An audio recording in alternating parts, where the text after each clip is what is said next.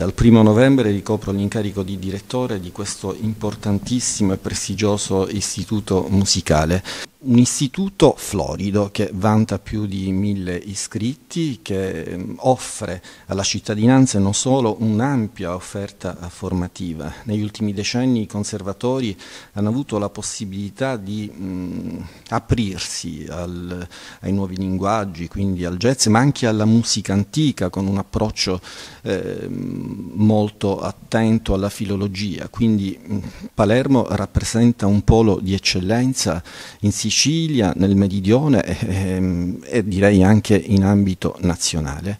Un aspetto che mi sta particolarmente a cuore è la vicinanza nei confronti degli studenti, delle famiglie, ma anche l'internazionalizzazione. Questi sono diciamo, i due poli di riferimento che orientano il mio lavoro quotidiano e poi l'attività ordinaria. Presto avvieremo le masterclass per l'anno 2024, eh, inaugureremo la stagione concertistica i primi di marzo al Teatro Massimo con un concerto dell'Orchestra Sinfonica del Conservatorio, una realtà importantissima formata da uh, docenti e studenti e in quell'occasione, proprio perché eh, l'orientamento è quello di puntare sui giovani, si esibiranno due studenti, due eccellenze del nostro istituto. Ecco, a proposito di giovani, eh, l'amore per la musica è sempre forte nei giovani?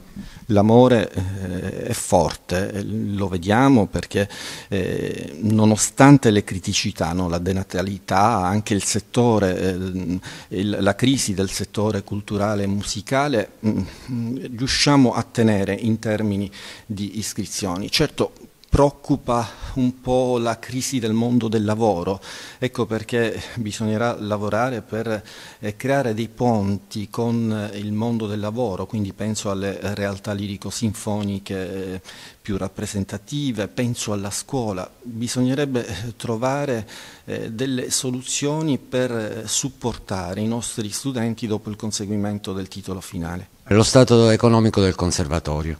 Ma è uno Stato, diciamo, buono di un ente pubblico che chiaramente deve spendere quello che incassa, quindi eh, la mia idea è quella del buon padre di famiglia, no? che deve eh, cercare di spendere con oculatezza guardando tutti e cercando di mantenere quell'equilibrio necessario, indispensabile per tenere i conti in ordine. Chiaramente per questi aspetti subentra il Presidente, il Consiglio di amministrazione, quindi il direttore non è solo.